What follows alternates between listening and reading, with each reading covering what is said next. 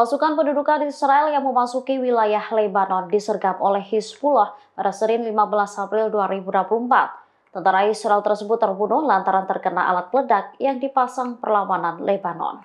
Ini kali pertama Hizbullah mengklaim serangan semacam itu selama terlibat konflik dengan Israel selama enam bulan. Dijelaskan Hizbullah pasukannya telah menanam bahan peledak di daerah Tal Ismail, Lebanon. Mereka lantas meledakannya setelah tentara Israel menyeberangi perbatasan.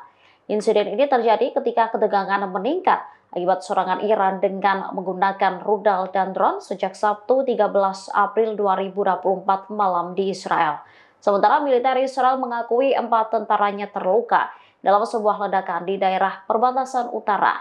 Satu di antaranya bahkan terluka parah. Akan tetapi, militer Yonis tak merinci di mana insiden itu terjadi.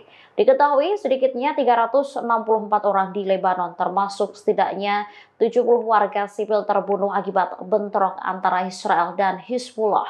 Sementara pihak militer Israel mengatakan bahwa 10 tentara dan 8 warga sipil telah terbunuh sejak permusuhan dimulai. Puluhan ribu warga sipil juga telah meninggalkan rumah mereka di kedua sisi perbatasan. Download Tribun X sekarang. Menghadirkan lokal menjadi Indonesia.